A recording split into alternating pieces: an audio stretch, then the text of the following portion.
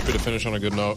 Um, you know, the, the mix of pitches was pretty well, pretty good tonight. Um, Salvy was great back there calling um, everything, and uh, obviously the fastball had good life to it tonight. And uh, you know, we felt uh, you know, especially when we were head head in the counts, um, I feel like I could have gone to all three pitches um, tonight and um, put guys away. So uh, a couple, yeah, a couple long at bats, long innings to start the game, but um, just deep counts. Um, so just trying to stay ahead as much as we can, and you know, get quicker outs. But um, it is what it is, and you just keep attacking the zone. But overall, um, happy to finish on a positive note. When you do have, I think nearly 50 pitches through two, um, are you hoping to get through five at that point? Uh, I, don't, I don't know how you kind of. Yeah, I mean, whatever the inning is, kind of just works itself out. Um, obviously, you just want to pitch as deep as you can for as long as you can, and uh,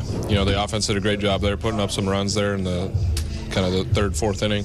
Um, that way, when I go back out there and you know could just focus on attacking and getting strike one and, and going from there, and then you know, kind of the the pitches, uh, the pitches, and the pitch count takes care of itself from there. With the, I, I don't know if there's anything to this, but um, being able to get the swing and miss against that team, mm-hmm. Really low strikeout. How would you kind of assess how that? Went? Yeah, you know, I could tell early on the the fastball, especially, was kind of jumping out of my hand tonight. Um, and we just we mixed in the curveball and changeup well um, to kind of let it play, and we were located at the top of the zone pretty well, pretty consistently. And um, I think just um, you know having seeing that visually, and then you know, obviously that gives you confidence going you know going inning to inning and at bat to at bat, and then um, like I said, just you turn in, you focus on attacking, and um, you know getting the first strike, getting the second strike, and then the strikeouts come when the strikeouts come. But you got to get to two strikes first. So obviously that that comes from staying on the attack.